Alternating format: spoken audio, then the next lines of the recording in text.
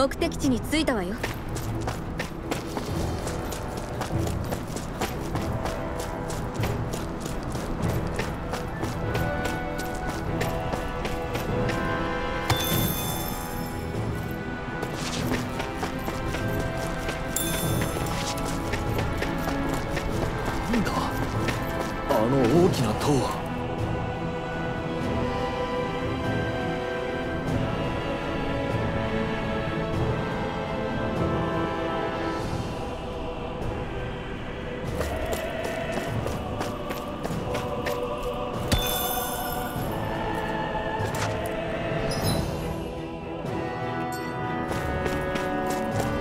牧場の様子を見ねえか？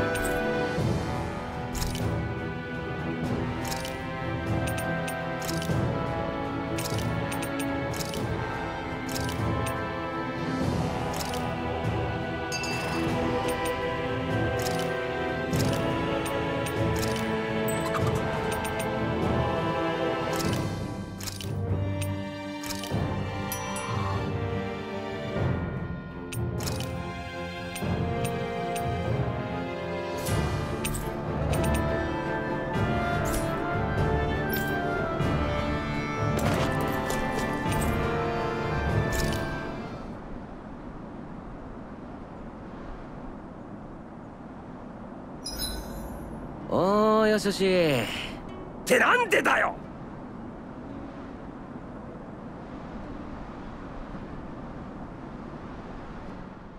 予備の装具が汚れていたので磨いておきました。それと武具も。ああ助かる。キサラなんかキサラなんだかんだ言いつつギオハリムの面倒を見ていない。やっぱりなかなか使えていた時の感覚が抜けないのか？そういうつもりはないのだがなそれに別にあの人のことだけではないぞ。ほらロー。お前の服。穴が開いていたのを繕っておいた。なああ悪い。ひょっとして世話を焼くのが好きなのか？好きというかしていないと落ち着かないんだ。私にとってはそうするのが自然なんだと思う。昔は兄さんと年下の子たちの面倒をよく見たものだ。兄さんは何でも教えてくれた野草の美味しい料理の仕方。服を長持ちさせる縫い方。何でも。あなたももう鋭でないというなら当然のように世話されるのは改めるべきじゃないの？面目ない。私もそうされることに何の疑問も抱いてこなかった。ずっと鋭として同じレナ人にレナ人としてダナ人に仕えられて当然だと思ってきた。まあレナ人だもんなけど俺たちはあんたに仕えてなんかないぜ。それでいい。君たちの態度に接するたびに私は内心の戸惑いに直面することになるのだから。戸惑い？私が真の理想から共存を言い出したわけではなかったのを思い出してもらいたいな。戸惑いは私にその都度何のために戦うのかを思い出させてくれるだろ心配しなくてもいきなり放り出したりはしませんから。なんだか部下っていうより母親みたいだな。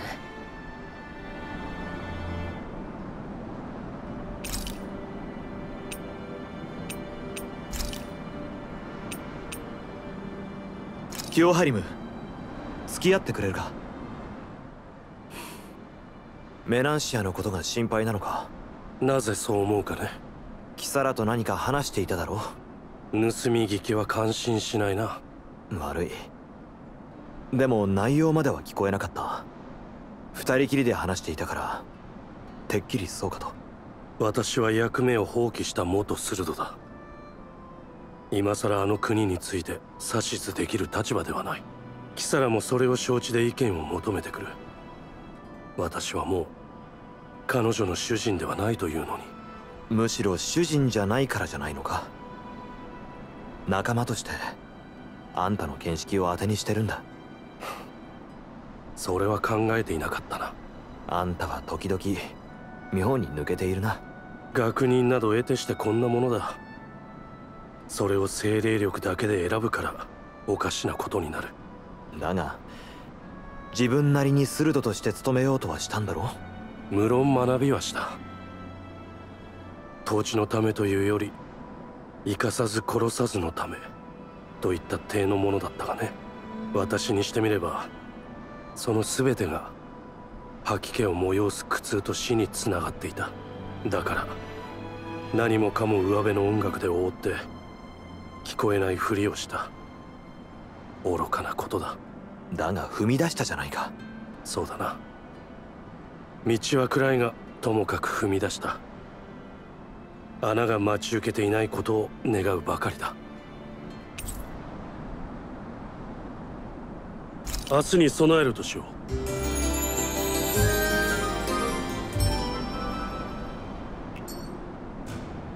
う。行くか。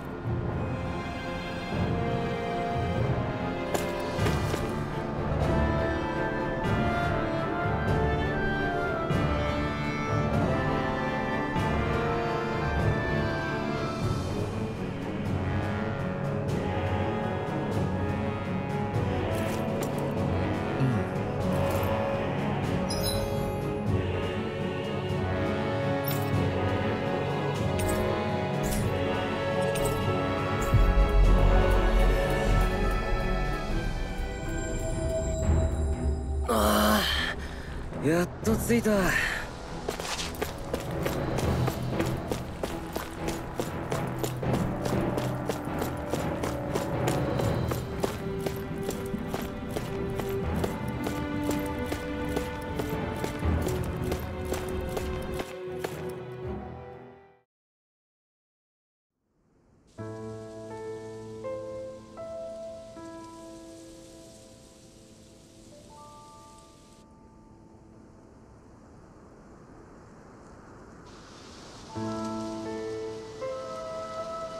本当にここなのか？荒れ放題じゃないか？ミハグサールの主婦ニズ。そのはずだ。がまるで人気がありませんね。建物も。ああ。人が住んでいる気配が感じられない。兵士ダナ人。どちらも姿が見えないな。作りから察するにレナ人の区画のようではあるが。ねえ縄文に描かれていた絵。あれ漆黒の翼の紋章だよ。ダナの昔話。フクロウと松明で悪い王様を退治する勇者の。その勇者の紋章だった。間違いないよ。ダナの？そんなものが書いてあるってことはつまり？もうこの町はレナに支配されていないってことだ。自力でスルドを倒したというのか？にわかに信じがたいがこの町の様子とは符合しているな。誰かいないか探してみよう。何があったのか聞けるかもしれない。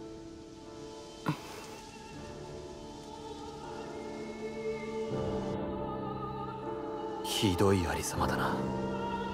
本当に誰もいないのか？壊されたのはつい最近みたいだなでもそれならダナ人もレナ人もここに住んでた人たちはどこに行っちゃったんだろう？もし本当にダナ人が放棄を起こして勝利したのだとしても誰もいないというのは不自然ね。この瓦礫レナの精霊術の仕業か？どうかな。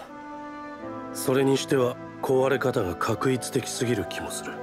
リンベルさっきの漆黒の翼の話。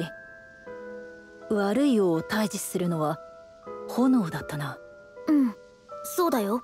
炎か。そう言われりゃ焦げたような跡もあるな。誰か見つけて話を聞ければ早いんだがな。道すがら探してみよう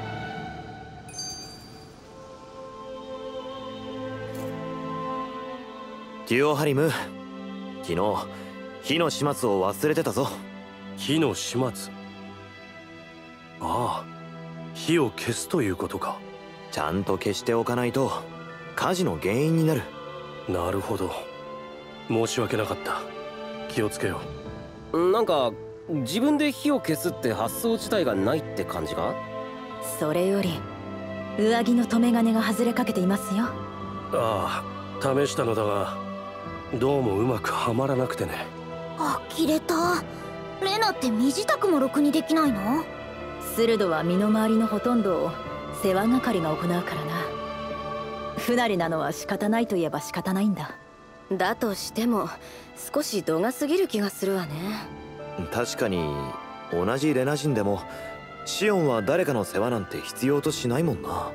私の場合はそうせざるを得なかったというのもあるけどだとしてももう少し自分でできるようになるべきだわ。うん。具体的に何を覚えればいいのかな？まずそうですね。服の着方靴の履き方髪の整え方私物のまとめ方それから世話係っていうより母親みたいだ。ああそういえばリンウェル君のフクロウだが。な何？羽の生え変わりの時その抜けた羽を譲ってはもらえないだろうか。そんなものどうするんだ？それで作った枕は最高の寝心地らしい。最近どうも寝つきが悪くてね。やっぱりレナなんて大嫌い！何かまずかっただろうか。とりあえず身の回りのことより先に空気を読むことを覚えてください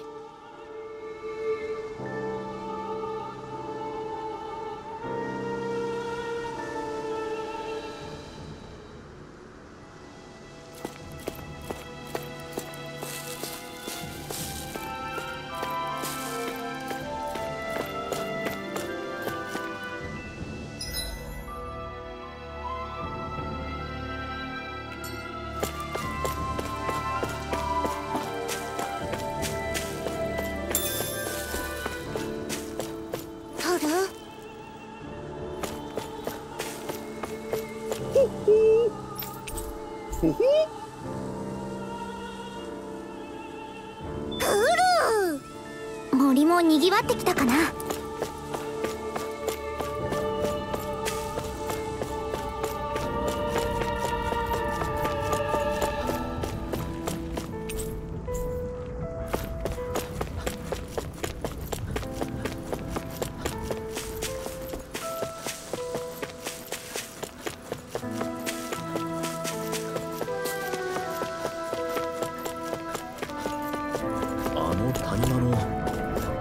風車なのかとんでもない大きさだな。風の精霊力を集めるためのものでしょうね。大きいのも当然よ。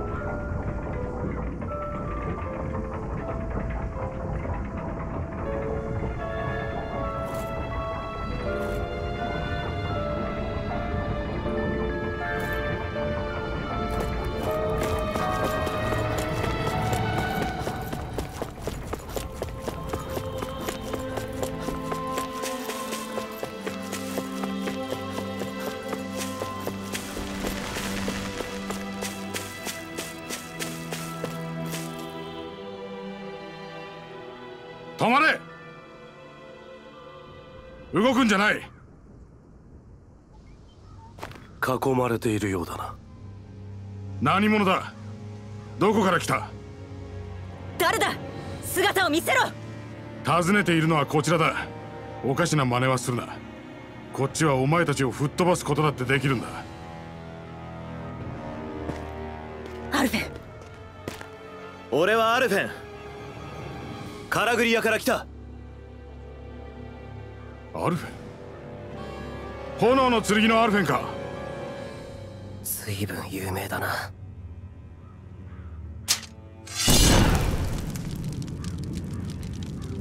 これがその証だ。それとも家の一つも焼き払わないと納得しないのか。分かった。それには及ばん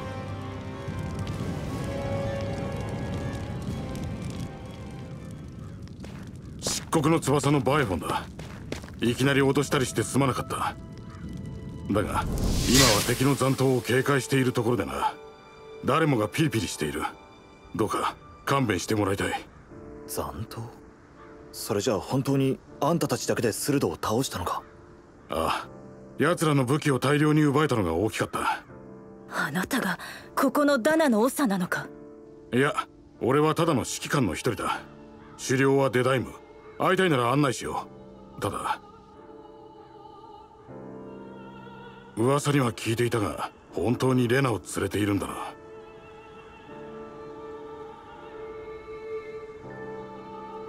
わかるだろう。我々はやっとの思いでレナとの戦いに勝利を収めたところなんだ。誰もが連中に敵意を抱いてる。デダイムはその最たる部類だ。どこかで待たせておいた方がいい。そんなことはできない。それにバラバラになる方がむしろ危ないと思うよ。忠告はしたぞ。我々の本部はそこだ。私は別に構わなかったのだがな。あなた一人の問題ではないでしょう。確かに。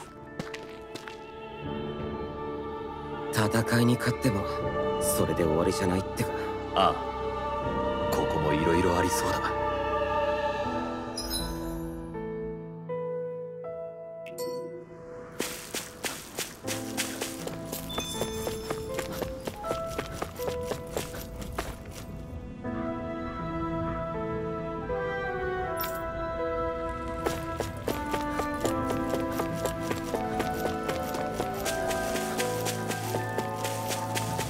こっちじゃないな。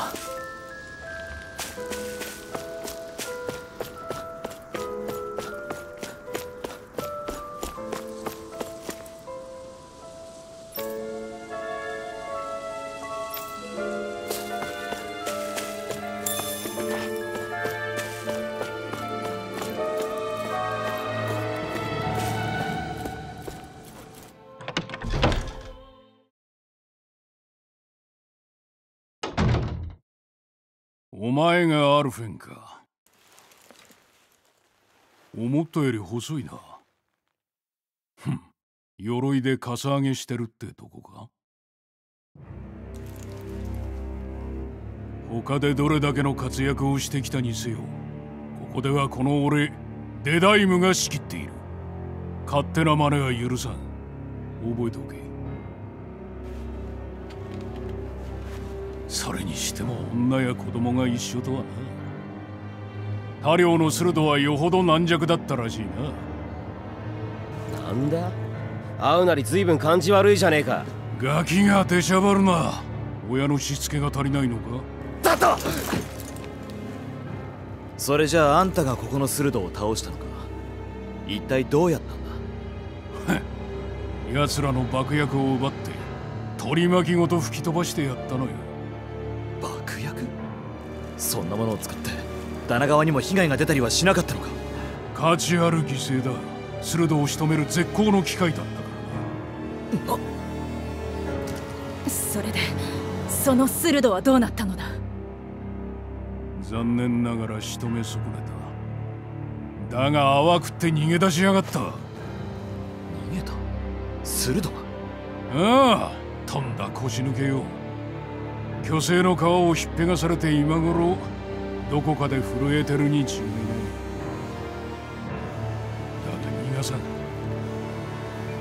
どこにいようと必ず引きずり出して報いを受けさせてやる。やめておきなさい。鋭の力を甘く見ない方がいい。黙ってろ光目お前がまだ息をしていられるのはそこの炎の剣に免じてのことだ。あなたの戦いはここの奴隷を解放するためのものでしょう。それを。黙れと言ったぞ女！仮にもダナのために戦う男がなぜこんな奴らを連れている？なぜさっさと殺さない？殺すために連れているんじゃない。じゃあなんだ？見せ物にでもするのか？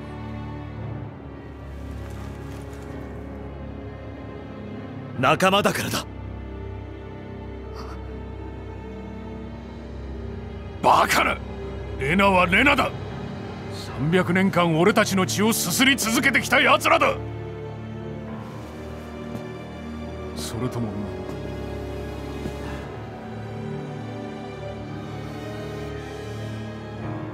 貴様まさかその女がお気に入りなのかて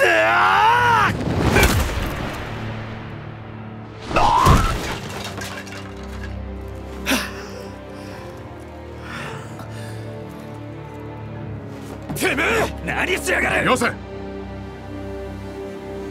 レダイム今のはいくらなんでもお前が悪い。とっととこの国から失せろ変節者め。この国は俺たちダナのものだ。俺が統治し俺が導く。この漆黒の翼のデダイムが。おうデダイム解放者デダイムこの国の指導者はあんただ。光目なんか怖くはない。俺にかかれば全土のレナ人を追い出すのも時間の問題だ。漆黒の翼。漆黒の翼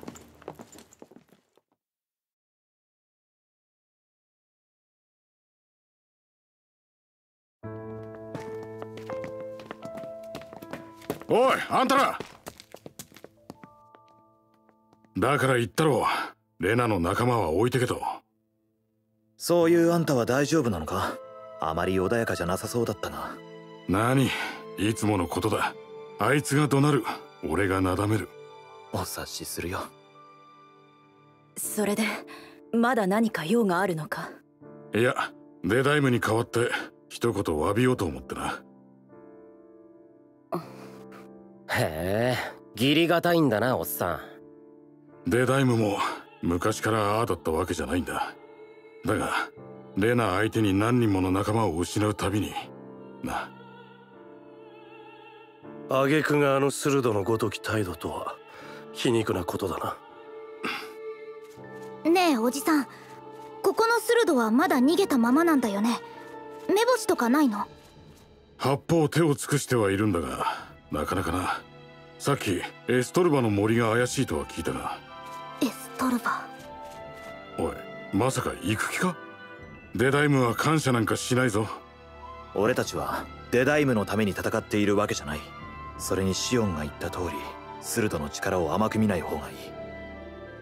そこまで言うなら好きにすればいいが。あんたには迷惑はかけない。ただその前にどこか一休みできる場所はないか？それならこの通りの反対側の突き当たりの建物に行くといい。新しい住居の割り当てがまだ決まらない者向けの宿泊所になっている。俺たちが行っても大丈夫なのか？炎の剣の噂はもう広まっている。いきなり襲われたり拒まれたりすることはないだろうよ。じゃあ俺はそろそろ戻る。達者でななあおっさん。あんたはレナに恨みとかないのか？ないわけないだろう。ただそこの二人には殴られたことがないってだけだ。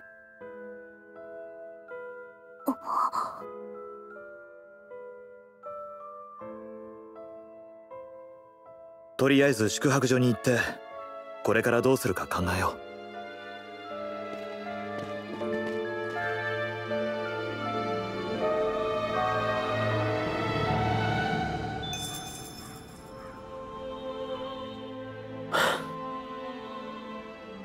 デダイムのやつ。自分が上に立つことが目的になっちまってる感じだったな。あれじゃスルドと同じか。もっとタチが悪いぜ。味方ごと爆薬で吹き飛ばすなんて。だがダナ人たちはあの男が支配者前と振る舞うことに疑問を感じていないようだ。むしろ英雄らしいと見ている節すらある。それだけレナへの敵意が根深いということだろうがダナやレナという線引きだけで人は割り切れる話ではない気がします。うん。確かにレナを追い出した英雄なのかもしれないけど私デダイムが正しいって思えないよ。味方を犠牲にして手にした勝利に酔う。あの男の考えを認める必要なんてない。それにダナだから虐げられていいなんてことがないようにレナ人だからって侮辱に耐えなければならないこともないはずだ。私のことなら気にしなくていいわ。慣れてるし。慣れる必要なんてない。いや長く奴隷でいるとそれが当たり前になるように。侮辱され続けるうちにそれが当たり前になる。そんなのは良くないと思う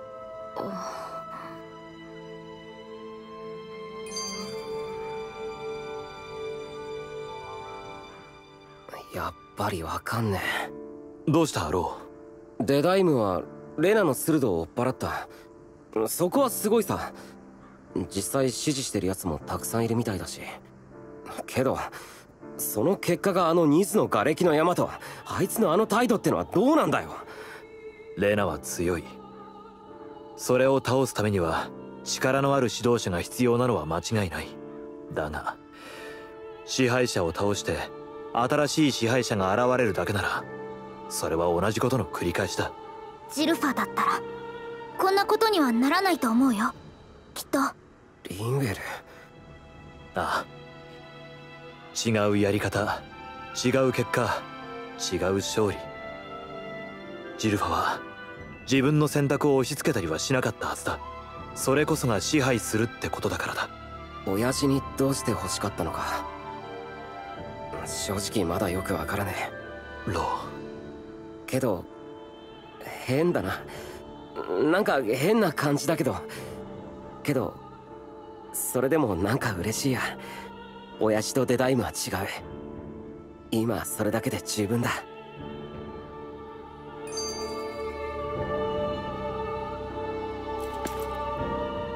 解放されてなおこの街の音色は不安に揺れているのだなまるでかつてのビスキントを思い起こさせる。音色？音楽ですか？別に音楽なんて聞こえないぜ。